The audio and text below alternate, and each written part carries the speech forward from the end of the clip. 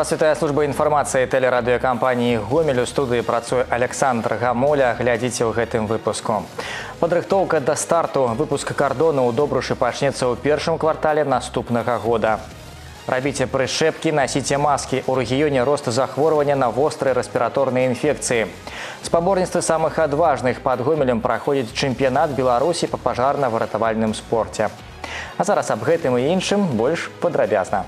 Выпуск мілаванага кардону у філіяле добруская папяровая фабрыка герой працы распачнецца ў сакавіку 2021 года. Доўгачаканы старт вытворчасці запланаваны на гэты год зноў адкладваецца на гэты раз за пандэміі.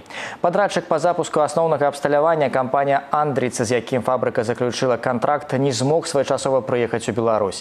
Закрытыя межы і адмена авіязносінаў адцягнулі візіт замежных спецыялістаў на тры месяцы. У выніку да працы на заводзе прыступілі толькі ў канцы мая, але і для гэтага беларускаму боку давялося прыкласці нямала намаганняў. Был организован э, самолет с доставкой сюда 9 специалистов компании «Андрец».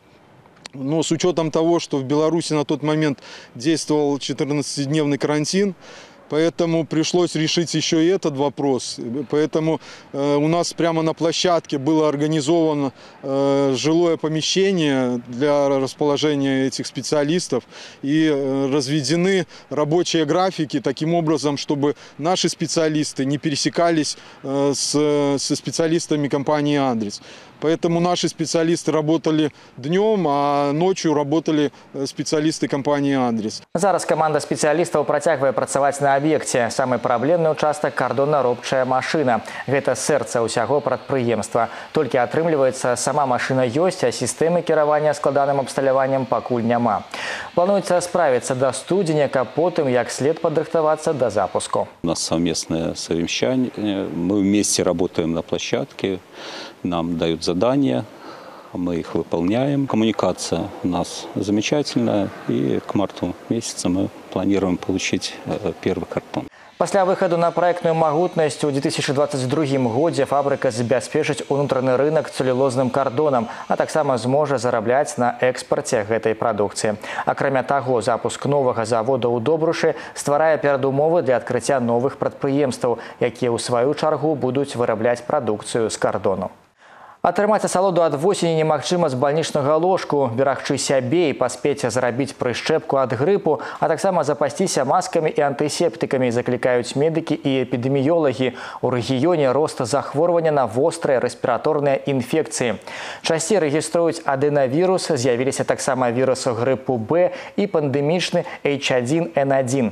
Нашы корэспандэнты пабывалі ў гомельскім абласным цэнтры гігіены эпідэміялогіі грамадскага здароўя, каб даведацца аб сітуацыі вакцинации. Несмотря на то, что сейчас у нас вакцины опробованы, да, уже доказаны своей эффективностью, а только на экспериментальном уровне еще нет от коронавируса, а, поможет ли, если люди сделают вакцину от обычных циркулирующих вирусов гриппа? Как это будет влиять на снижение заболеваемости коронавирусом? Какая тут связь будет? А, вы знаете, я хочу сказать, что, конечно, этот путь отслеживания, как э, э, вакцина повлияет на коронавирус, мы будем проходить впервые, но уже э, ученые нашей республики и других стран а, проводят какие-то исследования, которые однозначно говорят о том, что э, прививка от гриппа позволит организму больше сопротивляться коронавирусу и, соответственно, облегчить течение, либо, может быть, и вообще избежать этой инфекции при столкновении организма с коронавирусной инфекцией. Вопрос, который, наверное, интересует многих, когда нам ожидать пик заболеваемости коронавирусной инфекцией, он будет совпадать э, с пиком по гриппу и нашим э, сезонным привычным инфекциям, либо это будут э, совершенно разные пиковые период? А, ну, я хочу сказать, э, что по коронавирусной инфекции мы уже наблюдаем некоторый подъем, и э, где-то у нас от пиковых показателей первой волны уже мы имеем э, около 45% э, заболеваний и э, количество случаев увеличивается. Поэтому и наша настороженность, и мы призываем население быть более настороженным уже к коронавирусной инфекции. Ну а пик по коронавирусной инфекции где-то мы предполагаем будет в ноябре исходя из э, того увеличения, которое э, сегодня мы имеем. Раз пик ожидается скоро, самое время вспомнить о своем здоровье, безопасности своих близких и надеть маски, запастись антисептиками, да, и уже стараться избегать мест массового скопления людей. Да, вы совершенно правы. Уже настало время задуматься по, по профилактике. И опыт работы наш э, в первую волну однозначно показал, что а, четыре пункта по профилактике ковидной инфекции работают. Первое – это использование масок. Второе – это дистанцирование, метр-полтора. Третье – это антисептики и ДЭС-средства для мытья рук. И четвертое – это использование для уборки помещений и поверхностей рабочих дезинфицирующих средств ежедневно с определенной периодичностью. Вот это тот минимум, который обеспечит значительную долю профилактики ковидной инфекции. Вот если э, забота э, о себе лежит лично на нас, да, э, и уже это наша совесть и ответственность носить маски, пользоваться ли такими средствами, то за предприятиями, организациями, магазинами, учреждениями э, э, системы э, образования пристально следите вы. Прекращалась ли эта работа, были ли поблажки на летний период, допустим, да, пока было снижение, либо вы также внимательно отслеживали, чтобы все было в наличии? Конечно, э, растет заболеваемость и, конечно, активность а, санитарного контроля тоже он увеличивается однозначно. Это было всегда и не только по ковидной инфекции.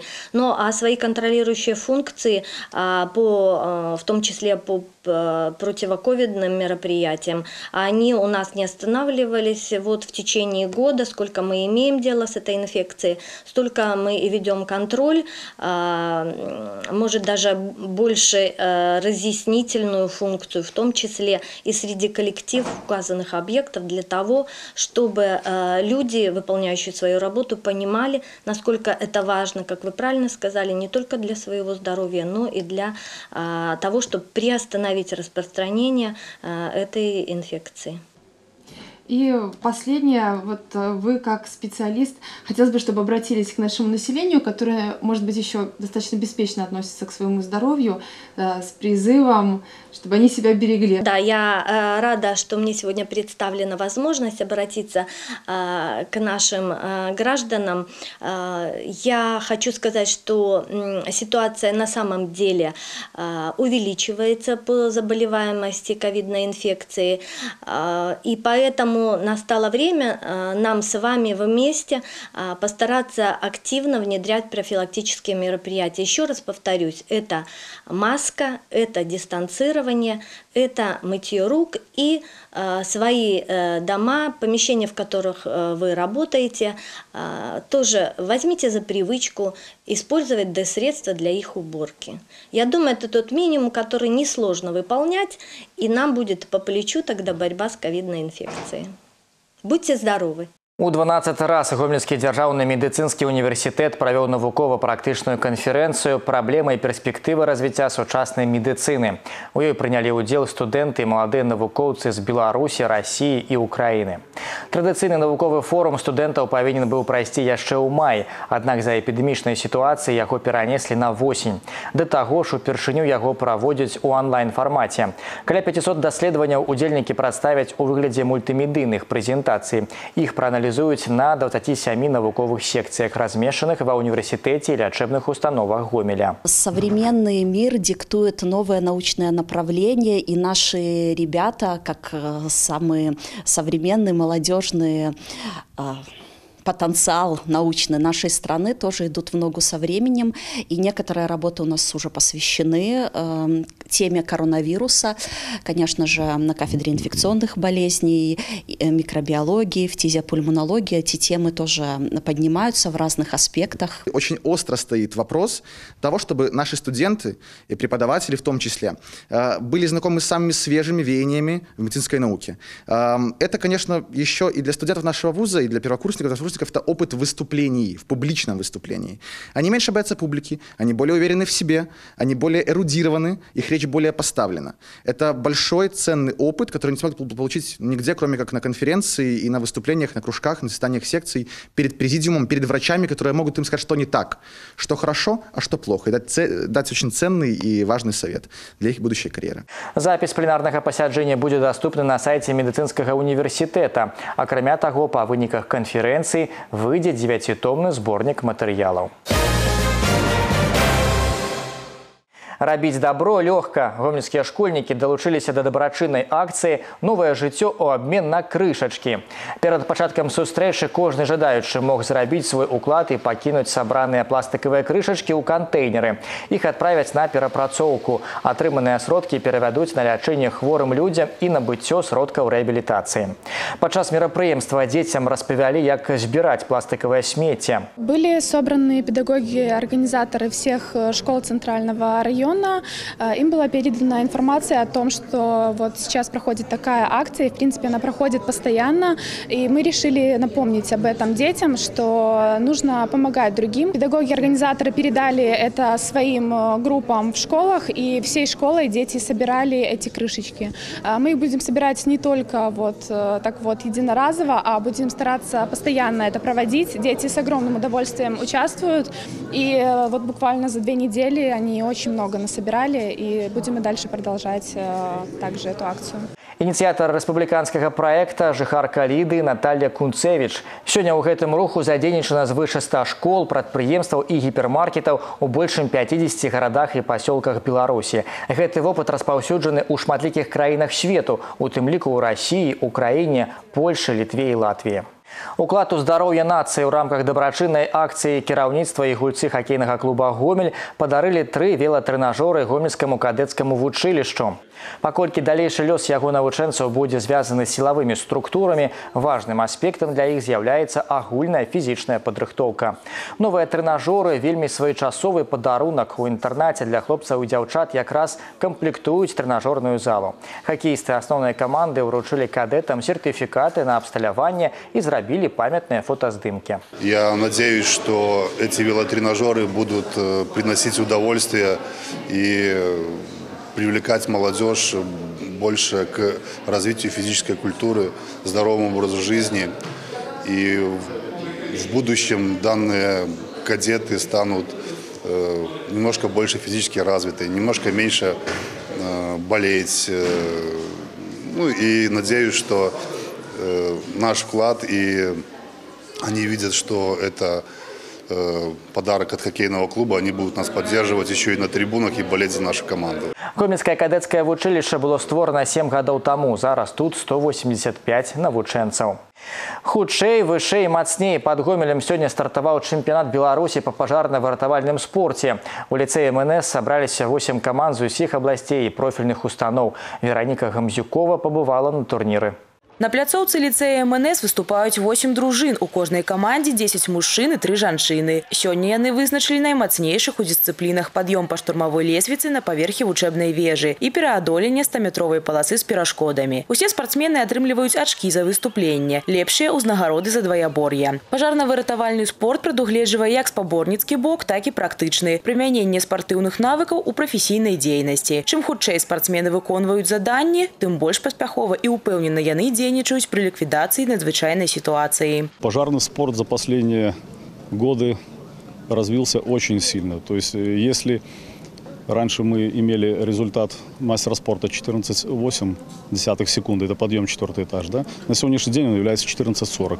А ребята выиграют чемпионаты мира из 13 секунд. Вы можете себе представить, с какой скоростью нужно бежать в четвертый этаж с лестницы весом 8,5 килограмм. Наши ветераны бегали далеко с более скромными результатами. Перш чым трапіць на чэмпіянат байцы не адзін раз пацвярджалі свой прафесіяналізм на абласных спаборніцтвах. Сярод іх пераможцы і прызёры міжнародных форумаў. Напрыклад, чатырохразовы чэмпіён свету гамяльчанін Максім Шапараў, чэмпіёны свету Мікіта Уколаў і Віталь Бобр. Зараз у гомельскай каманды моцны состав. По выніках першага дня наша сборная у лидерах. В том году были третьи, в этом, естественно, стараемся на ступеньку выше быть. Первые, вторые. Ну, конечно же, боевое настроение. Завтра это, как и у всех остальных команд, можно так сказать, конек основной. Ну и кто выиграет, выиграет боевое, тот выиграет и все соревнования. Завтра другі дзень чэмпіянату. Спартсмены будуць змагацца ў дысцыпліне баявое разгортванне. Пасля заканчэння турніру пройдзе ўзнагароджанне пераможцаў і прызёраў. Вераніка Гамзюкова і Грымарышчынка, тэлерадыёкампанія Гомель. Неверагодным канцэртам у гомелі адзначылі юбілей сусветна вядомага кампазітара Людвіга ван Бетховена. Для аматараў класічнай музыкі гомельскі сімфанічны аркестр падрыхтаваў праграму Бетховен 5 у адным.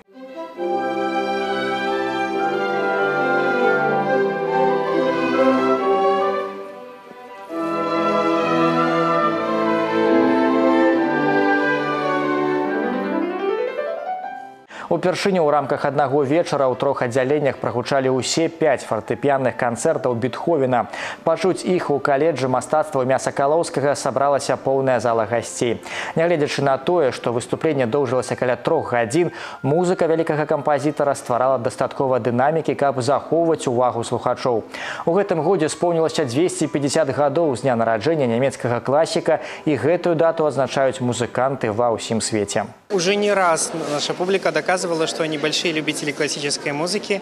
И э, мне кажется, э, тот состав концертов, который будет сегодня звучать, а будет он идти э, к кульминации, к пятому концерту, все подводить в исполнении Андрея Сикорского, мне кажется, что публика как раз-таки прочувствует нашу задумку. Мне показалось, что наша публика очень любит фортепианные концерты, и э, уже с успехом проходили и концерты Рахманинова, и концерты Листа, поэтому мне кажется, что это, это именно выбор под гомельскую публику. Концерт «Бетховен 5 у 1» открыл шосты форум классичной музыки в областном центре. Гэта і іншыя навіны інфармацыю о праектах тэлерадыёкампаніі Гомель вы можете знайсці на нашым сайце ў інтэрнэце па адрасе www.tvrgomel.by. На гэтым выпуск завершаны ўсяго добрага і да сустрэчы ў эфіры.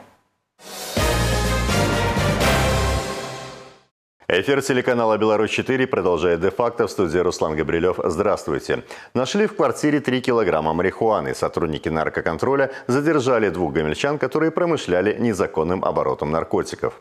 Запасы зелья хранились в трехлитровых банках, пакетах, мелкой таре и коробках из-под бытовой техники. Всего изъято около трех килограммов марихуаны, а также около полутора фасованного зелья. Обнаружить все тайники помогла служебная собака гомельской таможни «Аврора». Она ни разу не ошиблась во время поисков. В операции были задействованы и пограничники. Против задержанных мужчин 35 и 36-летнего возраста возбуждено уголовное дело. Управлял МАЗом и наехал на бетонное ограждение моста. В Житковичском районе водитель с признаками алкогольного опьянения протаранил бетонные блоки.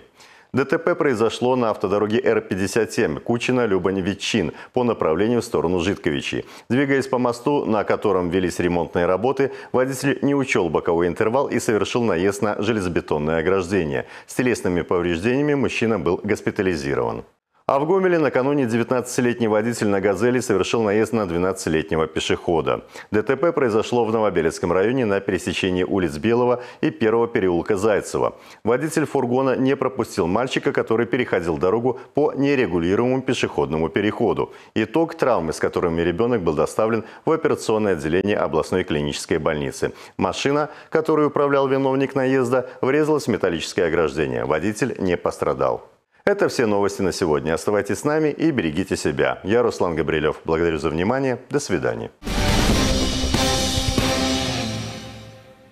На телеканале «Беларусь-4 Гомель» новости спорта в студии Максим Савин. Здравствуйте. Пять побед и одно поражение мужской гандбольный Гомель на втором месте после первого круга. В заключительном поединке стартового отрезка чемпионата Беларуси подопечные Андрея Мочелова на домашнем паркете были сильнее Гродненского Кронона 31-25.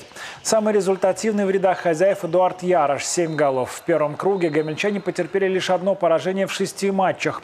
От бессменного чемпиона последних лет Мешков-Брест. В остальных поединках неизменно побеждали. Второй круг Гомель начнет в ближайшую субботу 10 октября выездным поединком против БГУФК «СКА». Матч чемпионата Беларуси по волейболу между Гомельской энергией и Легионом из Обухова перенесен. Игра должна была пройти в Гомеле 17 октября. Перенос обусловлен техническими причинами. Игра состоится через неделю, 24 октября. В предстоящую субботу, 10 октября, энергетики отправятся в Брест, где встретятся с местным Западным Бугом. Областные Олимпийские дни молодежи и первенство области по тяжелой атлетике проходят в Гомеле. В спорткомплексе Гомсельмаш состязаются более 140 спортсменов, представляющих 10 команд. Возраст атлетов 17 лет и моложе. Областные ОДМ – это этап отбора на республиканский турнир, который в ноябре третий год к ряду пройдет на этой же площадке. В 2019-м хозяева праздновали победу в командном зачете. Сейчас они также в числе фаворитов. В областном этапе Олимпийских дней молодежи принимают участие сильнейшие атлеты региона. Среди них участники и призеры европейских первенств. На этих соревнованиях мы просматриваем. В ноябре у нас будет еще одна область. Также мы будем просматривать, потому что период большой, еще практически полтора месяца. Ну, естественно, будут и просмотры, сборы. Времени у нас еще хватает подготовиться к республиканским соревнованиям. У нас сильная команда в области по этому возрасту. Мы в том году победили на республике, Гомельская область. Поэтому, надеюсь, планку держать и в этом году. Завершатся областные Олимпийские дни молодежи по тяжелой атлетике 10 октября. На этом пока все. С новостями спорта вас знакомил Максим Савин. Оставайтесь на Беларусь 4.